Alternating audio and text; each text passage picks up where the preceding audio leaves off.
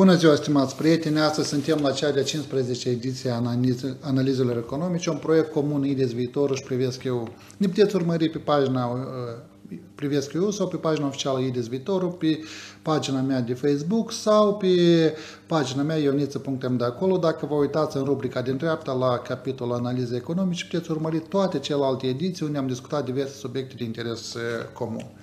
Tema care vreau să o abordăm cred că este cea mai fierbinte temă din ultima jumătate de an, piața produselor petroliere.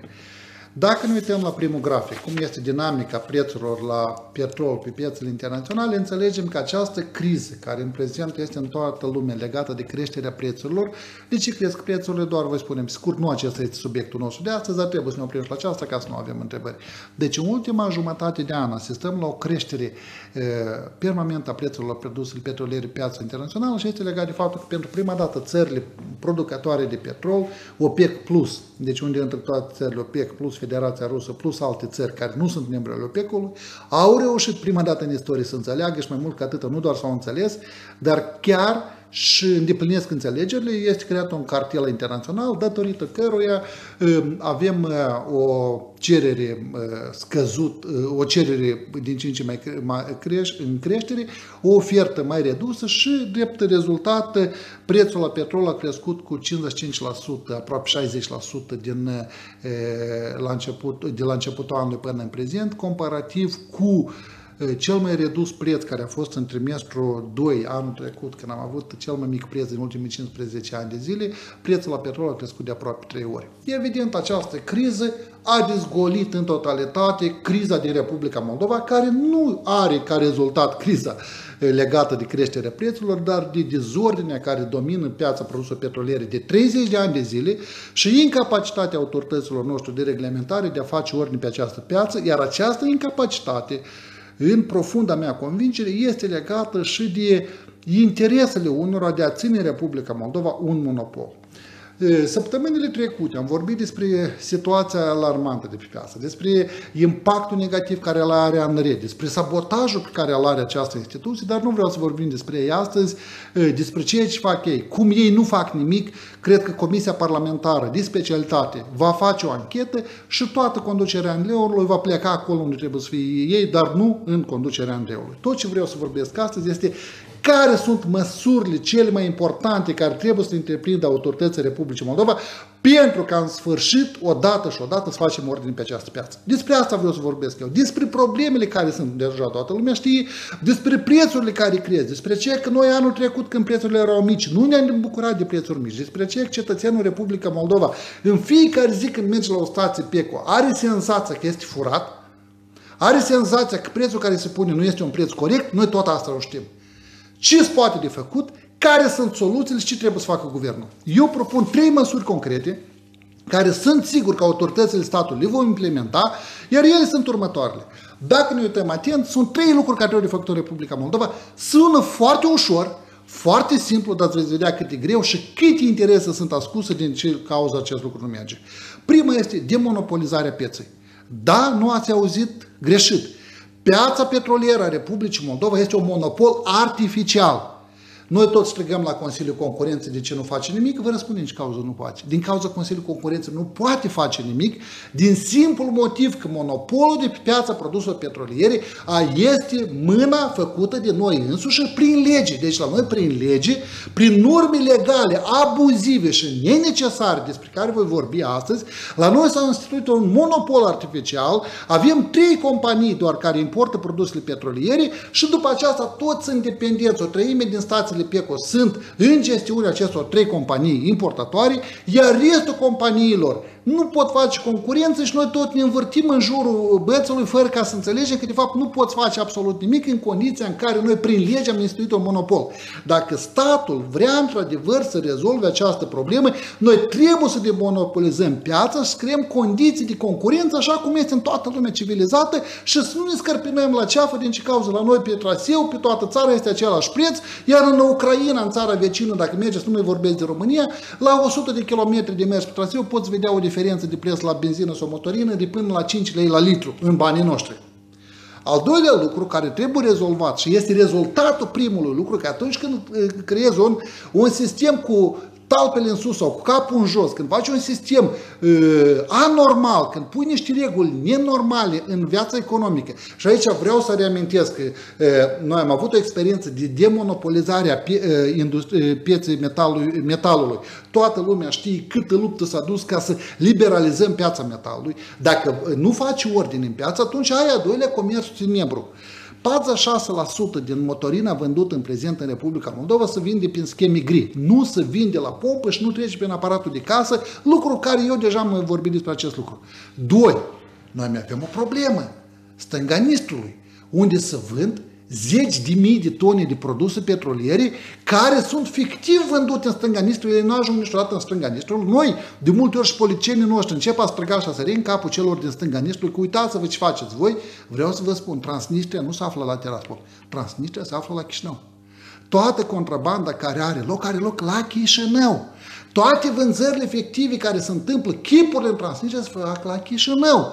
Toată vânzarea ilicită acestor produse care chipurile s-au exportat în Transnistria s-au vândut la Chișinău. Deci aici are loc problema. Și dacă vrem să rezolvăm problema, nu trebuie să sărim în capul celor din Tiraspol, nu au și păcatele lor despre ei poate cu altă ocazie, trebuie să vedem cine de la Chișinău a creat această schemă prin care la noi să vând produse petroliere, chipuri de, pentru Transnistria, dar în realitate să vând în Moldova. Deci aceasta este rezultatul. Ai un monopol, ai un sistem distorsionat, ai piață tenebră, ai vânzări ilegale. Deci asta sunt legate una de alta. Dacă crezi un sistem cu capul în jos, nu poate lucrurile să meargă bine. Deci asta este al doilea măsură care vreau să vorbesc despre cum putem lichida comerțul tenebru și trei, transparentizarea reglementării. Deci noi, chiar dacă liberalizăm piața, noi știm deja. În Republica Moldova să spui cuvântul liberalizare nu este sună bine. Toată lumea când aude liberalizare, deodată știu, gata, prețurile vor crește.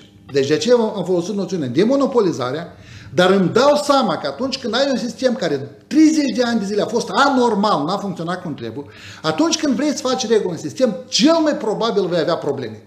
Și din acest motiv, pentru a proteja cetățeanul, pentru a nu permite creșterea nejustificată a prețurilor, ceea ce vrem noi să facem este un lucru simplu. Pentru 1, 2, maxim 3 ani de zile, să avem o reglementare strictă până ce piața va fi funcționa nemonopolist, până ce vom lichida monopolurile și vom, vom avea niște prețuri corecte așa cum trebuie să aibă toată lumea. Haideți să trecem la primul element, demonopolizarea. Sub monopol ce am în vedere? Prin lege, încă o dată repet, prin lege, în Republica Moldova a fost instituit un monopol. Deci ceea ce avem noi astăzi, trei companii care importă produsele petroliere și apoi le vând la toți ceilalți și ei au o poziție dominantă, ei hotărăsc și ei au vrut acum, dacă vă aduceți aminte, noi am vorbit despre aceea că au încercat să bage prin lege ca anumite tipuri de produse să fie scoasă din reglementare, ca să spui ce prețuri doresc ei, aceste companii, de fapt, poziția lor de monopol nu sunt că ei sunt mai frumoși, că sunt mai deștepți, că lucrează mai eficient. Nu. Poziția lor de monopol a fost instituită prin lege. De aceea, nou guvern, nou parlament, președintele țării care are dreptul la inițiativă legislativă trebuie să întreprindă câteva acțiuni pentru ca în Republica Moldova să distrugem acest monopol artificial creat prin lege. Vă dau câteva uh, exemple. Prima este Reducerea cerințelor pentru capacitatea de stocare a petrolului. Deci, în prezent, în lege este pus o normă abuzivă. Compania care importă petrol și vinde petrol trebuie să aibă o capacitate de 5.000 de tone de stocare produs, 5.000 de metri cubi de, de stocare a produselor petroliere. Această normă abuzivă nu are nimic cu realitatea vieții, nu are absolut nimic cu necesitățile. Mai mult ca atâta, nimeni nu știe unde se află aceste capacități, mai mult ca atâta, companiile nu au nevoie de aceste capacități, dar ei sunt obligați să uh, închirieze aceste capacități, sunt forțați ca să facă descărcarea, încărcarea la produse petroliere și de aceea noi solicităm, cerem ca în lege să fie introdusă 50 de metri cubi, de ce acest 50 de metri cubi, deci asta că este o necesitate tehnologică, deci dacă tu ai o stație micuță de alimentare, ai trei tipuri de produse petroliere, câte 20 de tone, 20 de metri cubi, deja ai 60 de metri cubi. Deci, anularea sau reducerea acestei norme abuzive va face posibil ca oricine să poată importa produse petroliere. Aici vreau să remarc. Faptul că oricine va putea importa produse petroliere nu înseamnă că va importa toți. Din ce cauză? Din cauza că, într-adevăr, se aduce în cantități mari și anumite, vor fi anumite companii, nu știu, 3, 4, 5, 6, 7 care vor importa produse petroliere. Dar ei vor oferi un preț corect cetățeanului din simplu motiv că orice peco cât de micuț din Republica Moldova, orice consumator din Republica Moldova va ști cât costă produs petrolier în România și cât costă la importatorul nostru. Și atunci când va fi un preț incorrect, cum se întâmplă în ziua de astăzi, el va spune, nu-ți supăra, eu nu mai cumpăr la tine, voi importa. Anume riscul ca să nu-și piardă clientul, îl va obliga pe el să aibă un preț corect. Al doilea, reducerea cerințelor față de capital statutar. Noi, în general, la noi legislația era una foarte așa, să zicem, amuzantă, ca să nu zic diochetă. În Republica Moldova exista capitalul. Noi am capitalul statutar minim. Noi am luat această, această cerință și la produse petroliere a rămas 8 milioane de lei. Unicul scop de ce există această normă de 8 milioane de lei este pentru a crea monopol artificial. Nu are nicio explicație economică, nu are nicio justificare acest capital social, pentru că asta îl anulăm cu totul, am spus să fie 100 de mii de lei. De ce am lăsat 100 de mii de lei? Ca statul să fie întotdeauna sigur că toți agenții economici fac toate achitările la impozite și taxe, dar încă o dată explic, nu există nicio justificare economică privind capitalul statutar decât introducerea lui pentru ca nimeni să nu poată opera pe piață. Să ai trei monopoliști care fac ce vor, restul nu pot lucra. A treilea, reducerea taxei de licențiere.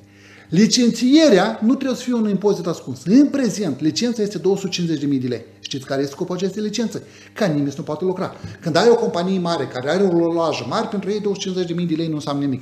Pentru un pieco micuț, care are rolajul poate de câteva uh, zeci de tone anual, pentru ei taxa de 250.000 de lei este una critică, el nu poate cum să o achite. Din acest motiv, taxa de licențiere trebuie scoste atâta cât costă ea. Deci serviciul de licențiere prestat de către ANRE trebuie de calculat cât costă. Cât costă să deplaseze un specialist la ANRE la fața locului, cât costă manopera lui de muncă, ea este undeva de la 500 până la 1000 de lei. Am propus ca taxa uh, de licențiere să fie 1000 de lei. Nu poate servi taxa de licențiere ca o metodă de impozitare. Nu trebuie să introducem această taxă pentru ca să nu permitem altora să acționeze. Și ultima, a să vă pară amuzant, dar noi avem acord de asociere cu Uniunea Europeană. Avem acordul prin care recunoaștem reciproc documentele. Tot a fost așa până recent, când a apărut o firmă căpușă care, chiar dacă produsul petrolier este certificat de o companie din, uh, internațională, chiar dacă produsul petrolier este produs în Uniunea Europeană sau cum uh, mai exact în România, chiar dacă firma care produce are toate certificatele necesare ca să vândă în Uniunea Europeană, birocratul nostru, ca să câștige pe contul dumneavoastră câte 30 de bănuți la fiecare litru, ce au făcut? Au spus nu, produsul care vine din Uniunea Europeană, care este certificat de Uniunea Europeană, care avem acord de asociere cu Uniunea Europeană, trebuie să mai fie certificat dată în Republica Moldova, pentru că la fiecare mașină să luăm câte 9.000 de lei pentru companiile mari care au inventat fel de fel de e, scheme pentru ca să evite această certificare la fiecare mașină, îi certifică loturi, certifică Altfel, aceasta nu este o problemă. Pentru firmele mici care ar dori să importe una sau două mașini, certificarea fiecare mașini ar însemna câte 9.000 de lei la fiecare mașină, asta câte 30 de bănuți la litru. Dacă ne uităm atent, anularea acestor norme abuzive, de fapt ne reduce la ceea că prețul la petrol ar scădea cel puțin cu 50 de bănuți, care în prezent este nejustificat. Această certificare care nu nu trebuie și această obligație de a avea 5.000 de tone. Și tu ești obligat să procuri la cineva, ești obligat să ții la el sau ești obligat să încarci, încărcarea, descărcarea te costă undeva 25 de bănuți la litru. Deci această normă, aceste patru norme care sunt în prezent în lege, au o singură sarcină, cum a fost la piața metalelor, norme abuzive din lege pentru a crea un monopol artificial, exact așa avem și la piața produselor petroliere, norme abuzive din lege care creează monopol piața produselor petroliere. Și noi apoi ne scărpinăm la ceafă din ce cauză avem monopol. Oameni buni, al avem că a fost cu mânuța creată. Ani de zile s-a încercat, vă spun acum un secret, ani de zile s-a încercat distrugerea acestui monopol, nu s-a reușit. Sper foarte mult că acum, în sfârșit, după ani de zile, se va reuși distrugerea acestui monopol. Prima ce trebuie să facă noua guvernare, să distrugă monopolul instituit prin lege. Aceste patru elemente le-am descris. Apropo, IDIS viitorul va veni public cu un proiect de lege care va conține toate aceste modificări și vreau să văd cei care își vor opune acestor modificări. Lichidarea comerțului din Ebru. În Republica Moldova, datorită acestui monopol instituit, prin care statul nu permite nimănui să importe, dar există un număr limitat de importatori, agricultorii, transportatorii în anul 2010, 2011, 2012 s-au revoltat enorm și spuneau noi nu mai vrem să fim sub acest monopol.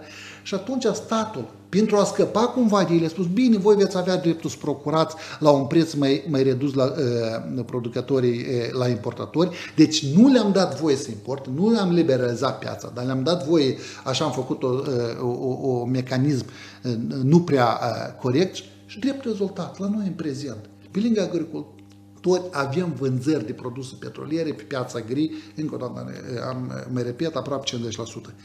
Ce trebuie de făcut?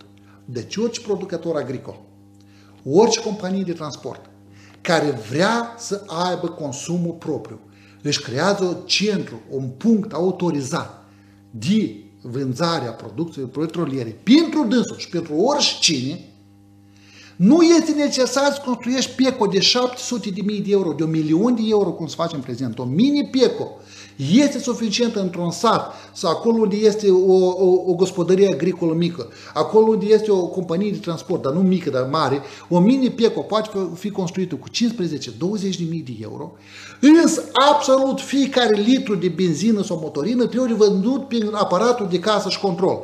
În prezent, deoarece nu trec prin aparatul de casă și control, circa 4 miliarde de lei anual să vând în afara acestui sistem, să vând angro după aceasta, nimeni nu știe ce se întâmplă cu aceste produse petroliere, statul pierde circa 200 de milioane de lei și fiți atenți. Suma cashback-ului se numește, dar în limba română se numește mită, dă-o cum vrei, dar suma mitii care se dă pentru faptul că îți dă reduceri. Și aici voi vorbi ceva mai târziu ce se întâmplă pe piața produselor petroliere. Nu avem astăzi timp să descifrăm toate. Pentru multe alte lucruri se ridică la vreo 150 de milioane de, de lei. Asta este lupta pentru care se duce. Sunt oameni care trăiesc din acest sistem bolnav care suferă bugetul statului, suferă fiecare cetățean. Dăm voie fiecărui să-și poată crea aceste mici pecuri care erau cândva în Republica Moldova împăcinite. Da, cine vrea să meargă cu mașina la un peco mare, ca să-și ia o cafea, un ceai, el va plăti mai scump pentru pecul. Dar un agricultor care cu tractor merge pe deal, el nu are când stă acolo la o cafea, în ceai. El are nevoie să vie la un peco unde și-a făcut plenul, a plătit prin casă, a plătit toate impozitele și în felul acesta rezolvăm problema. E, al doilea, nu uitați că o parte mare din produse petroliere, datorită acestui sistem bolnav pe care l-am creat noi, produse petroliere care chipurile se duc în Transnistria nu mai aduc, ajung în Transnistria. Fiecare 10.000 de tone de produse petroliere care chipurile le vindem în Transnistria nu mai ajung niciodată acolo, ajung pe piața Republicii Moldova și la fiecare 10.000 de tone bugetul de stat în prezent pierde 75 de milioane de lei. 75 de milioane de lei la fiecare 10.000 de tone. Estimăm că undeva 300 de milioane de lei sunt pierderile bugetului de stat datorită faptului că noi utilizăm Transnistria prin eschivare de la impozit. Vă arăt un grafic foarte simplu. Am invitat anul 2020 în mod intenționat, deoarece am avut criză și ca să nu fiu învinuit că manipulez cifrele. Uitați-vă care sunt încasările din accizele în Republica Moldova. Trebuie să fac aici o remarcă, se întâmplă asta nu doar cu produse petroliere, se întâmplă și cu țigările. Deci, dar dacă vă uitați atent, veți vedea că încasările din acciz în Republica Moldova în fiecare an cresc, cu excepția unor ani. Dacă vedeți în grafic, cei care când scade e cu roșu, nu vedeți o legătură dintre anii care e cu roșu și ceva? Ce s-a întâmplat în anii cu roșu în Republica Moldova? Au avut loc alegeri. 2009 alegeri, 2014 alegeri, 2018 alegerile din februarie 2019. La fiecare alegeri, accizele scad. Știți din ce cauză scad? Se utilizează schema ilegală de vânzare fără acciz, deoarece se fură banii noștri ca să ne cumpere tot pe noi la alegeri.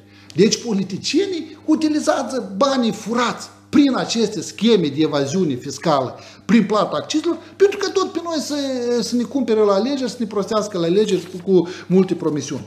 Deci noi avem nevoie să lichidăm comerțul tenebru. Scopul este unul. Cât petrol s-a importat în Republica Moldova, atât petrol trebuie să vândă prin aparatul de casă și control. Asta este. Scopul este să ajungem la ceea că în Republica Moldova absolut fiecare litru de benzină motorină este vândut prin aparatul de casă și control. Și ultima. Ultimul lucru care vreau să-l spun este legat de faptul că avem nevoie de o perioadă de tranziție. Deci noi în Republica Moldova 30 de ani de zile am avut un sistem bolnav de reglementare a pieței produselor petroliere. Monopol artificial, abuzul din partea celor cu poziție dominantă, abuzul din partea importatorilor și nedorința clasei politice, deoarece a fost întotdeauna stimulată financiar de către e, companiile petroliere, nedorința clasei politice de a face ordine și de a demonopoliza piața. Dacă acum va fi dorința de a demonopoliza piața, evident în prima perioadă avem nevoie de reglementare, deoarece efectele acestei demonopolizări, efectele unei concurențe adevărate, îți va face vizibil peste jumătate de an, un an, nu mai repede. Din acest motiv, în această perioadă avem nevoie de o reglementare strictă și transparentă. Deci noi avem nevoie, în conformitate cu legea, an reu, atunci când publică marja comercială, să publice lista tuturor costurilor pe care legitim ei le acceptă către companiile petroliere, mărimea acestor costuri, justificarea acestor costuri și profitul care le-au dă la companii petroliere. Legislația spune până la 10%. Vreau să știu acum și cred că fiecare dintre noi. Dar care este norma de profit care în prezent este acceptată? ANREU trebuie în decizia lui privind uh, stabilirea marjei comerciale să publice în mod obligatoriu, asta trebuie în lege să fie scrisă expres, să publice conținutul tuturor costurilor sub formă de tabel. Costuri de transport, costuri de gestiune, costuri de administrare, toate să fie într-un tabel, suma și noi la urmă să vedem care este suma. Ca noi să putem analiza, să vedem dacă ei nu sunt cumva încărdășii companiile de, de petroliere și dacă nu cumva nouă ne se bagă pe gât niște costuri nejustificate, cum erau în altă ramuri, spre exemplu la e, industria gazului, când am depistat costuri nejustificate și au fost anulate în 2011 încă. Și ultima. Îmi dau seama că cel mai mult cine suferă, suferă companiile agricole, companiile de transport. Din acest motiv, până ce piața va începe a funcționa prin lege, pentru un an, maxim pentru noi doi ani de zile, să fie reglementat inclusiv reducerile comerciale care sunt aplicate pentru companiile de transport și pentru companiile agricole. Nu este conform spiritului economiei de piață, dar noi nu avem economie de piață la industria petrolieră. Și acum, pe final, două lucruri. Vreau să fac un apel către companiile petroliere. Majoritatea din voi, companiile mari, activați în alte țări. Dumneavoastră știți cum să activați normal. Dumneavoastră știți cum să activați civilizat. Dumneavoastră aveți o experiență de activitate civilizată. Republica Moldova are dreptul, cetățeanul Republicii Moldova are dreptul să primească un serviciu civilizat. Dumneavoastră o știți. Nu azi, mâine, nu mâine, poi mâine, dar Republica Moldova trebuie să devină un stat european. În Republica Moldova regulile trebuie să fie ca Uniunea Europeană. Nu vă opuneți la aceste schimbări, mai mult ca atâta. Arătați-vă demnitatea voastră, arătați-vă că puteți lucra și companiile care aici sunt companii fici, companiile mamă, verificați-vă managerii voștri. Verificați că băiat cu care au primesc ei în limba română este mâta care o primesc pentru reduceri comerciale. Verificați din ce cauze stau, nu, nu doresc să aibă rețele de petrol proprii, dar închiriază stațiile de petrol. Verificați câți bani sunt scoși prin aceste stații de petrol. Verificați câți bani de la cetățeanul nostru ajung în buzunarul lor și nu ajung în buzunarul companiei. Nu cetățeanul nostru este furat. Compania voastră este furată, deoarece banii pe care îi iau ei prin scheme de arendă, prin scheme de cashback, cum spunem noi, sau prin scheme de primirea a mulțumirii până la 25% pentru reducerile comerciale, sunt bani care cad pe umeri cetățeanului, câte 40, 50, 60 de bănuți la fiecare litru de benzină sau motorină și nu ajung pe conturile companiei. Sunt bani care ajung pe conturile unor angajați corupți. Faceți ordine la ei. Faceți-vă ordine, nu s-a pus și statul să facă ordine. Ar fi o roșenie mare dacă CNA-ul sau o procuratură s-ar începe să facă ordine și ar depista câte scheme foarte urâte sunt în Republica Moldova în domeniul produsului petroliere. Și ultima, câte clasa politică.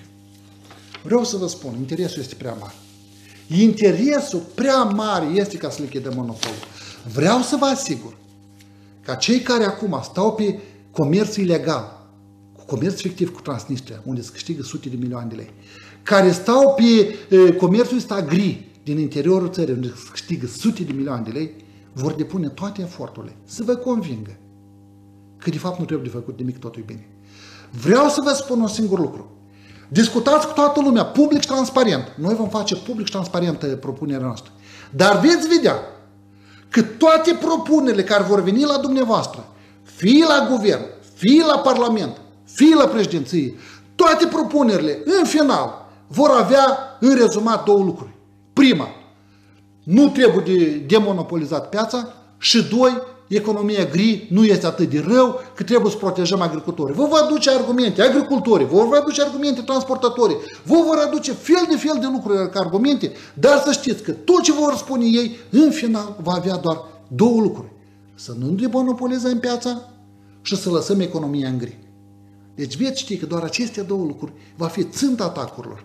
De ce eu sunt foarte sigur că aceste propuneri pe care noi le vom da în scris către Parlament, către Guvern, către președinție, ne vor permite să facem ordine, a face ordine pe piața produselor petroliere nu este mare secret.